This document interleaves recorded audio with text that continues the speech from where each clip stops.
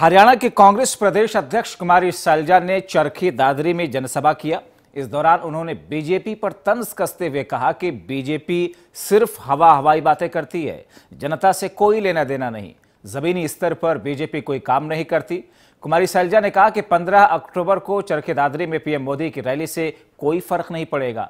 सैलजा ने चरखी दादरी से कांग्रेस प्रत्याशी नुपेंद्र सांगवान के समर्थन में नुक्कड़ सभा की। उन्होंने कहा कि कांग्रेस ने जो चुनावी घोषणा पत्र तैयार किया, उसे जमीनी स्तर पर भी लागू करेगी।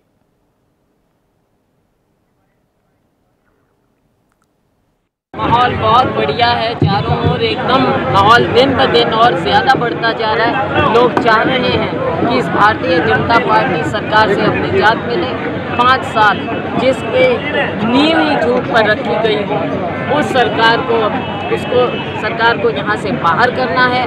कांग्रेस की सरकार लानी है और कांग्रेस की सरकार बनेगी तभी हमारे राज्य का मैनिफेस्टो की बात जो तो... लोगों की बात होती है उनको सुनकर हमने हज़ारों हज़ारों लोगों से बातचीत की लोगों के हमारे पास सुझाव आए। उनसे बातचीत करके हमने ये घोषणा पत्र अपना लागू किया है और हमारा प्रयास रहा है कि हर वर्ग की समस्या को हम देखें ताकि जैसे पहले हमने अपने सारे वायदे पूरे किए आने वाले वक्त में भी हम एक एक वायदा पूरा करें। तो आप